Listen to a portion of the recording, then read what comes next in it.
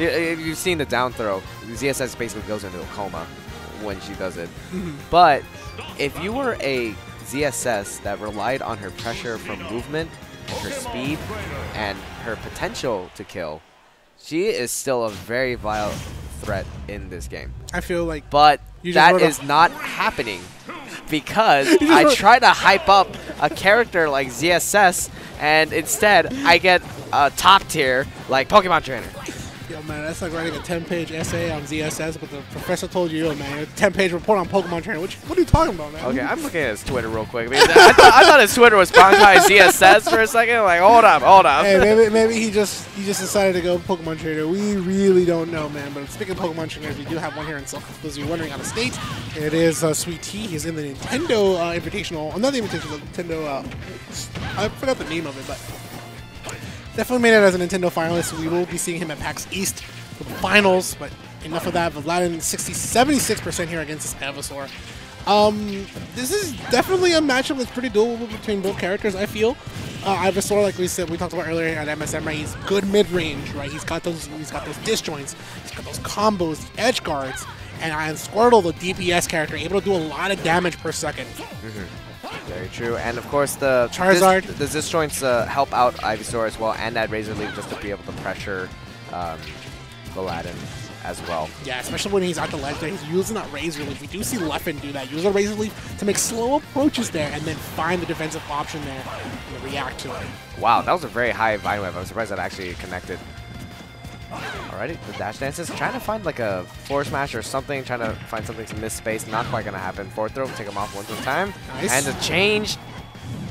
And Charizard, of course, very heavy. Gonna be able to survive those up airs. I feel like if it was Squirtle, Ivysaur would have been dead. Yeah. punish into the fair. It's kind of usually what people say about Charizard. He's kind of like the. Uh, people say Charizard's in this toolkit because he's the fan service character. Like, it's not a Pokemon game or movie without Charizard, so they put him in there and he just doesn't do much aside from Flare Blitz. But Ooh. Ivysaur will definitely make up for it. Goes for the down throw into the Vine Whip at that angle. Yeah, the tipper on that Vine Whip, so good to be able to get those ridiculous kills. And it was just so weird to look at because they just obliterate into the blast zone all of a Yeah. sudden. Squirtle having a hard time making their way in. Doesn't have the range, the, they have the speed, but I think this is in general a very difficult Yeah. space for Squirtle to try and invade. You can see Vlada's doing a very good job on their movement to try and get away from the throw combos. Yeah, and well, when I mentioned earlier, right, Squirtle has the DPS damage per second here, and he has the combos, but like we talked about the range here, and immediately Bankai immediately switching off the Ivysaur to get the range. That's where he has to face at. Oh, the grab comes in.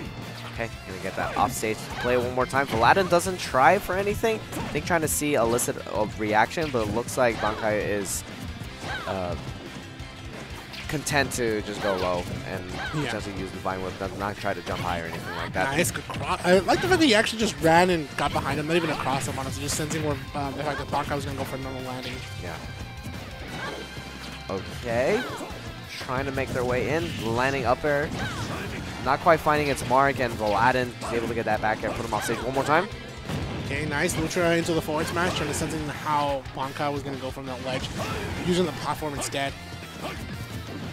Grab into the back throw.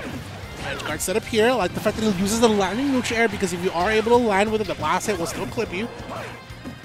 Alright, uses that Vine Whip to try and keep Vuhladdin away, but he's not falling for it. He just dashes away and dashes back in. It's like, okay, you still got to pick a ledge option, dude. Oh, but a run off there. But he makes it back, actually. Wow. It's a neutral air and out of the shield. I like the fact that Vuhladdin is actually angling his shield because he knows when when a Bankai's going to be coming from the ledge, he's going to be trying to hit him with up B, up air, forward air, and a forward smash, killing the dragon that is Charizard. Well, technically a Firefly type. But Lance does have a Charizard on his team, Yeah. And he is the Dragon Trainer. And Charizard does get Mega Stone X that involves him to a Dragon Fire type. Yeah.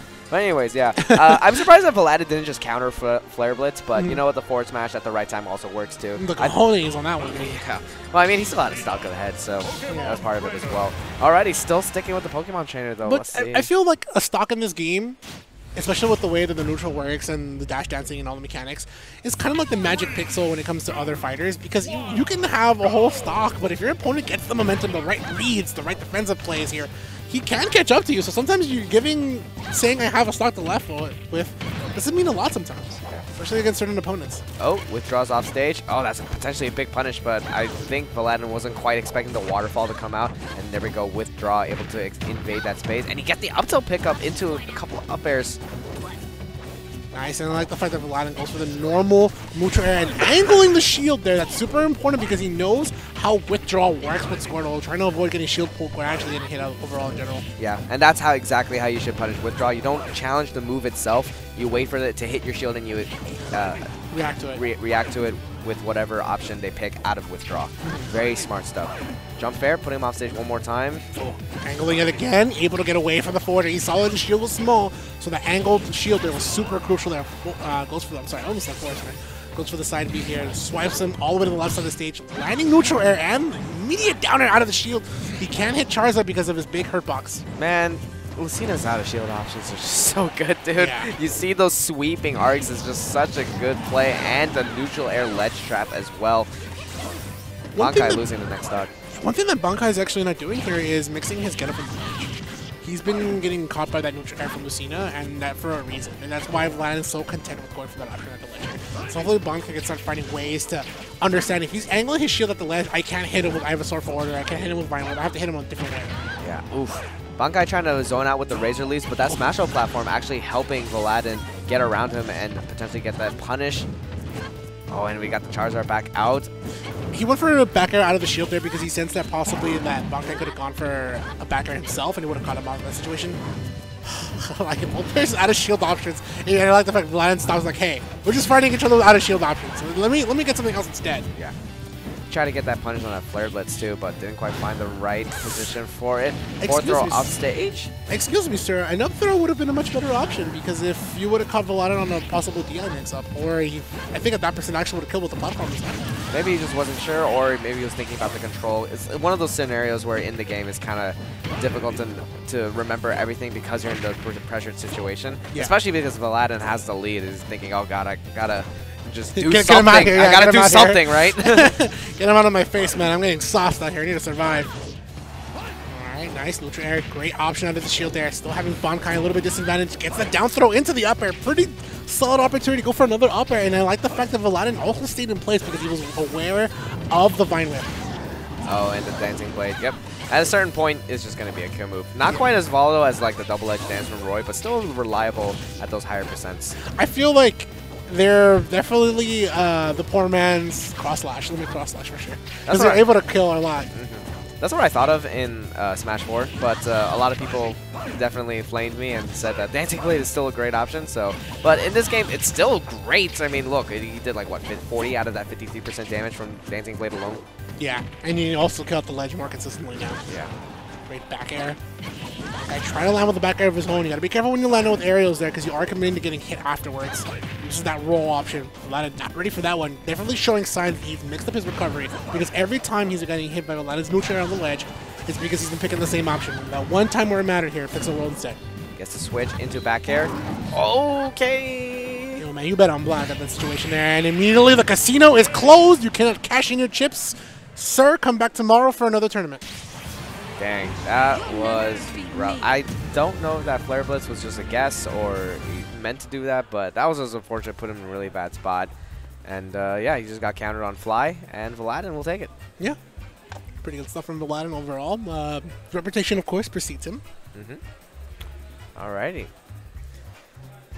The, the venue is starting to get a little bit more quiet. It's, yeah. it's always very crowded in the beginning, and then once people go O2, they gotta go dilute their salt and uh, come back another day, stuff like that. And then we and then we are left with the grinders, man.